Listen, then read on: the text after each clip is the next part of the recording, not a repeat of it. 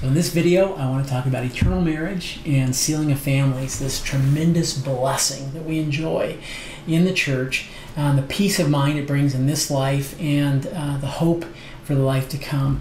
Uh, it's part of the gospel plan. Many Christians struggle with this uh, because in their mind and their heart, um, they feel this. They'll talk about it, but yet it is not the doctrine uh, of their church.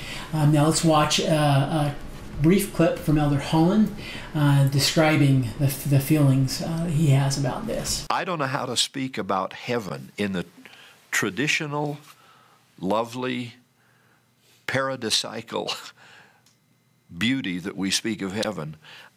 I wouldn't know how to speak of heaven without my wife or my children. It would, it would not be heaven for me. Now, you can say that's wishful thinking, or you can say that's just because you love each other and you've gotten cozy here on earth and you like each other's company. It's a lot more than that. There is something eternal in the statement that neither is the man without the woman, nor the woman without the man in the Lord.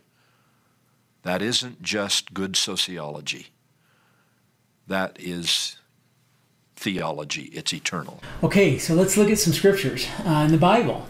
So first of all, the classic Genesis two. Adam and Eve uh, talk. They're married here in the Garden of Eden. look at this. Therefore shall a man leave his father and his mother, and shall cleave unto his wife, and they shall be one flesh. And they were both naked, the man and his wife, and were not ashamed. So the question is, who married them? Obviously, we know who God, with his power. And he could not say, until death do you part. There was no death. So the marriage in the beginning was forever, and it was by God's power. It is interesting to note that um, as we, we view the eternal marriage as part of the Abrahamic covenant, and uh, the religions that are considered part of the, the Abrahamic religions, in a sense, tying back to Abraham. Uh, the three strands you've got Islam uh, through Ishmael, and then Judaism and Christianity through um, Isaac and Jacob. Um, they all have semblances and beliefs through their history, and I'll go through a little bit of this, um, not necessarily Islam, but they do believe in um, eternal marriage. So, uh, marriage in heaven. So, kind of fascinating a little side note of that. But a few more scriptures, some other Bible verses. Matthew 19 6. Wherefore, they are no more twain but one flesh. What therefore God hath joined together, let no man put asunder. Okay, how about Paul in 1 Corinthians 11? Nevertheless, neither is the man without the woman, neither the woman without the man in the Lord. You just heard Elder Holland say that. 1 Peter 3 7.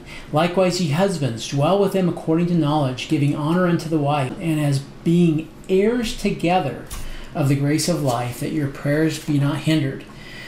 Okay, and then the, um, the power by how it's done. Matthew 16, uh, verse 19. And I will give unto thee the keys of the kingdom of heaven, and whatsoever thou shalt bind on earth shall be bound in heaven, and whatsoever thou shalt loose on earth shall be loosed in heaven. Discuss this a little bit more in a, in a second of the restoration of that power. Now, including children, uh, Isaiah 65, 23. Understand this is a verse about the millennium.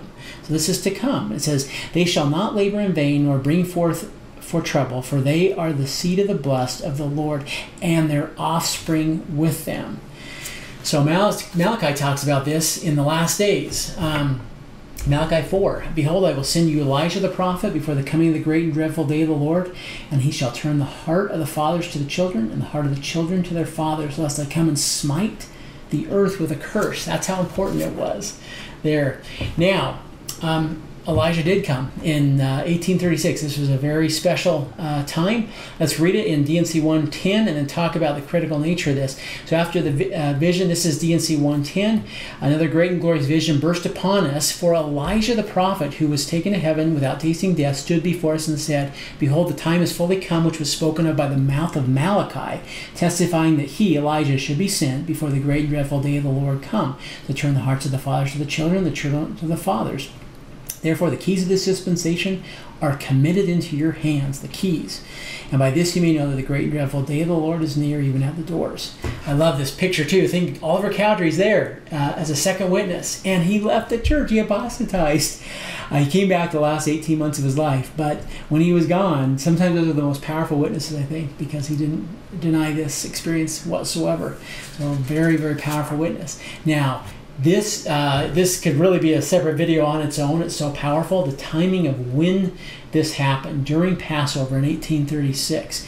Now, just to give you a little snippet, and I would suggest I'm going to link to this, but if you'll go to the church's website and look in this article, The Restoration of Priesthood Keys on Easter 1836, Symbolism of Passover and of Elijah's Return by John Pratt. It's fascinating, very detailed and scientific article. Um, but if you look on the left hand side, um, you'll see there the correspondence of the atonement to the Passover and dates in the study going back to AD 33. Um, uh, and if you look there, the very bottom, Sunday, April 3rd, 1833, was 16 of Nisan uh, to the Jews. The Passover event was the first fruits of the harvest presented to the Lord. And the event of Savior's life was the resurrection. It was the first fruits of the resurrection come forth, the first real Easter, essentially. So look at this here. The origin of the tradition that Elijah would return at Passover seems to have been lost in antiquity. It has been suggested that Elijah's return was associated with Passover, the feast commemorating the redemption of Israel, because it would herald the coming of the Messiah, the Redeemer of Israel. Whatever the origin of the association of, of Elijah with Passover, the tradition was proved correct when Elijah did return at Passover in 1836. Now, you remember the Jews set a place for Elijah um, during Passover, and that's part of their tradition that, that Elijah would come during Passover. However, he did not return to the Passover meal when the cup was offered on the evening of Friday, April 1st. Instead, he returned on Easter Sunday, the second day of Passover, the way that they would measure it, the day of the presentation of the first fruits of the harvest. The long awaited return of Elijah occurred in the Kirtland Temple on Easter Sunday, 16 Nisan April 3rd, 1836. Now, this really will your mind. Uh, so, how often does Easter Sunday occur on both April 3rd and 16 Nisan as it did in, in AD 33? It happens less than once every century on the average. The year 1836 was the only such occurrence in the 19th century. Interestingly, the accuracy of the calendar, calendar uh, alignment between uh, AD 33 and 1836 is even more precise than to the very day. To understand this added precision, a new concept called a realignment interval will be defined and applied to the lunisolar calendar. Now, this goes crazy in science and some of these things, and they go into it. They have a whole sidebar where they go into this realignment intervals. I'm just going to read this bottom thing I think you'll get the point. This kind of blows your mind. It says, To the very day, the Easter of 1836 completed a Jewish calendar realignment interval of 1,803 years since the Easter of AD 33. The fact has two consequences. First, the Jewish calendar would begin to repeat for several years. Secondly, it means that the Easter of 1836 was calendarically the most similar in history to the Easter of 33 AD, the resurrection of Christ. And if the Earth's orbit continues unchanged, that Easter should retain this distinction for another 3,000 years when a better realignment interval is due. That's blows my mind. That's fascinating stuff. Just love it. Uh, maybe should have done a separate video just on that whole uh, tidbit. But just fascinating stuff. Okay, some other interesting tidbits here. This is from the fairmormon.org website about ancient um, Jewish understandings uh, and early Christians' beliefs regarding marriage. The the Jews seem to have believed in eternal marriage from at least Second Temple times, since they posed the question about the woman with seven successive husbands. We'll talk about that in a minute, um, asking which of them would be her husband in the resurrection. The concept of eternal marriage is well attested among Jews in the medieval period and is frequently mentioned in the Zohar, which also notes that God has a wife, the Matrona, mother, and is known in the Talmud. In the Falasha, which is the Jewish Ethiopian text 5 Baruch, it has Jeremiah's scribe, Baruch, being shown various parts of the heavenly Jerusalem with different gates for different heirs. The text then says, I asked the angel who conducted me and said to him, Who enters through this gate? He who guided me answered and said to me, Blessed are those who enter through this gate. Here the husband remains with his wife, and the wife remains with her husband.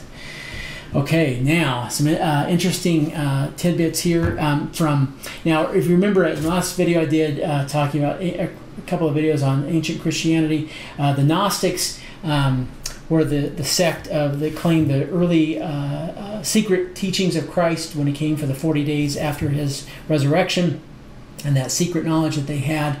Uh, many different splinter groups of, of, Gnostics, and there's lots of crazy writings. They were eventually uh, uh, condemned as heretics by the church that remained, and so. But a lot of these findings of uh, the Nag Hammadi texts uh, were found in 1945, the Gospel of Philip, uh, which was dated to, to the third century, was one of those Gnostic texts. And I'm going to share a couple interesting tidbits from that. First of all, uh, the early church father Irenaeus, uh, Irenaeus, excuse me, said uh, some of the Gnostics prepare a bridal chamber for those who are being consecrated, and after they claim that what they are effecting is a spiritual marriage, after the image of the conjunctions above.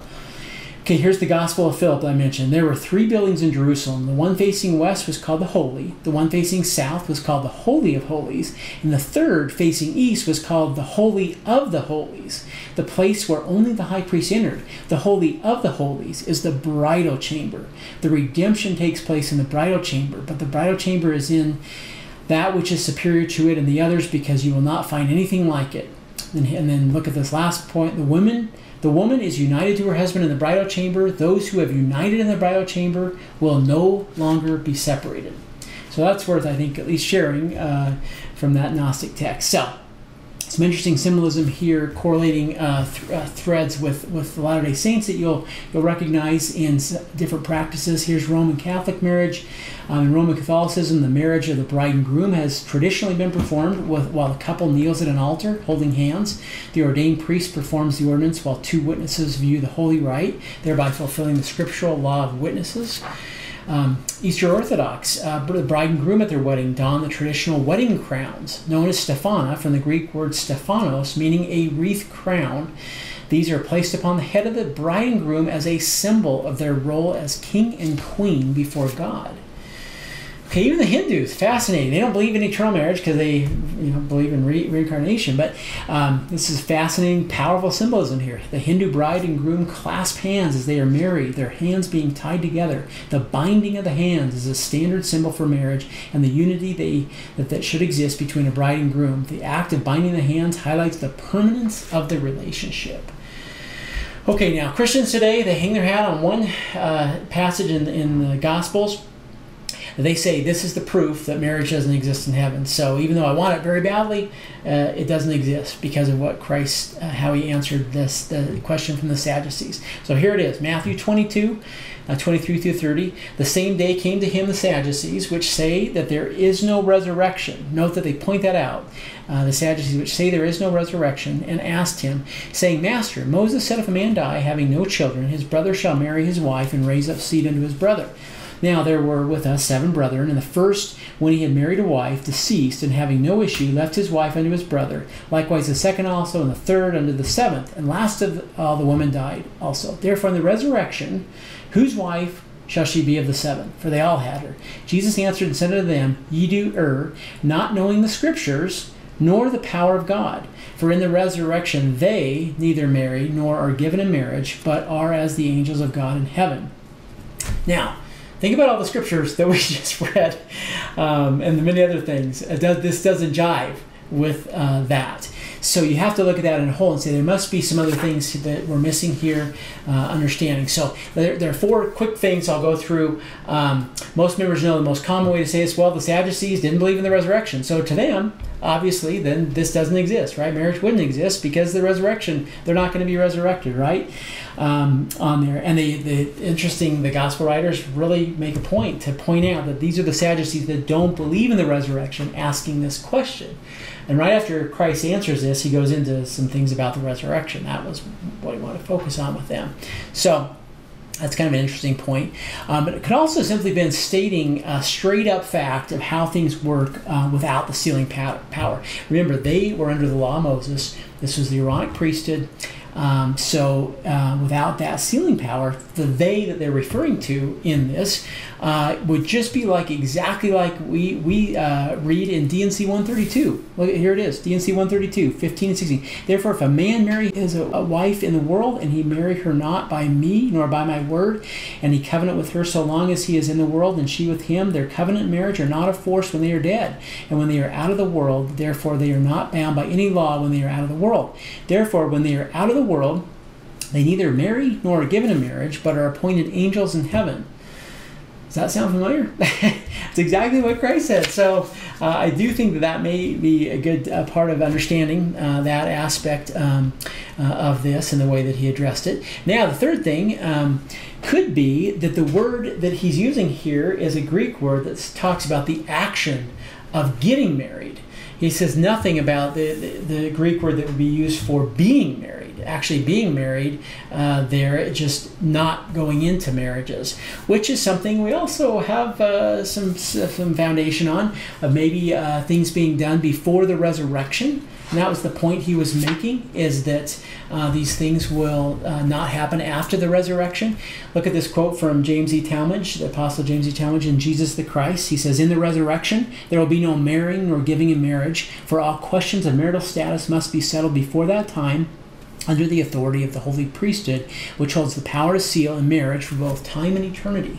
Remember the great proxy work that we were doing in this last dispensation, and we'll go through the millennium. So um, all of this will work out somehow uh, with with those principles and how that works. Okay, one last option to share, and this one's a little bit uh, less well known and, and, a bit esoteric. I think this is really kind of fascinating because it is puzzling that Christ says to them, You do err, not knowing the scriptures nor the power of God. What is he talking about?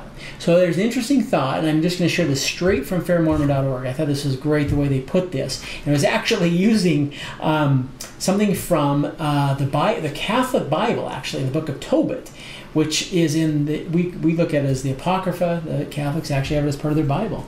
So um, uh, let's, let's look at it here. It says, The source of the story of the Sadducees told Jesus Uh, uh, by Jesus comes from one of the books of the Apocrypha, Tobit, where a woman named Sarah was married to seven men, each of whom died on the wedding night. The text also notes that Raphael, the archangel, was sent to give Sarah, the daughter of Raguel, for a wife to Tobias, the son of Tobit, because she belonged to Tobias by right of inheritance. So Jesus probably had this account in mind when he told his Sadducean interrogators, You do err, err, not knowing the scriptures nor the power of God. They had neglected to note that she had married an eighth husband and that God had sent an angel to arrange the marriage. So uh, they didn't know the rest of the scripture, he's maybe saying, and the power of God that uh, they had to, to do it. And uh, this would have been before the resurrection and by the power of God, and so uh, that worked out. But uh, others, it would they would be angels uh, in, in heaven if this didn't happen this way. So anyway, kind of a fascinating uh, possibility there as well. So um, now, finally, the Paul mentioned some things about uh, confusing comments about marriage. Uh, they were related to temp, uh, temporary and unusual things, often uh, dealing with missionary situations.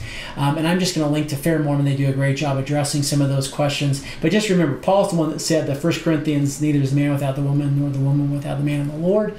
He's the one that talked about the qualities of bishops to, to look for. One of them was to be married. Um, and then he's also the one that talked about the uh, warned of uh, the latter day uh, apostasy would include the forbidding of marriage. Uh, so very interesting. That was Paul uh, himself. Now I want to conclude with this powerful uh, message from President Kimball. First Presidency message. The greatest joys of true married life can be continued. The most beautiful relationships of parents and children can be made permanent. The holy association of families can be never ending if husband and wife have been sealed in the holy bond of eternal matrimony. Their joys and progress will never end, but this will never fall into place of its own accord. The way is well defined and clear. Eternal marriage was known to Adam and others of the prophets, but the knowledge was lost from the earth for many centuries. God has restored the truths and has provided the way. With the restoration of the gospel came also the genuine priesthood, and God has given to his prophet all keys, powers, and authorities held by Adam and Abraham and Moses and the early day apostles. God has restored the knowledge of temples and their purposes. On the earth this day are holy structures built to the special work of the Lord and each is the house of the Lord. In these temples, by duly constituted authority, are men who can seal husbands and wives and their children for all eternity. This is a fact, even though it is unknown to many. It is inconceivable that otherwise intelligent, astute, and highly educated people should ignore or willfully disregard this great privilege. The doors can be unlocked. The, the gap can be bridged, and men can walk safely, securely to never ending happiness, making their marriages timeless and eternal. I just love that, and I love the temple. I love uh, the sealing power and the joy that it brings of, of having that knowledge of, of eternal marriage uh, that I enjoy in, in, my marriage to my sweet wife. I'm glad I could share these thoughts with you. Take care. Subscribe for more. Thanks.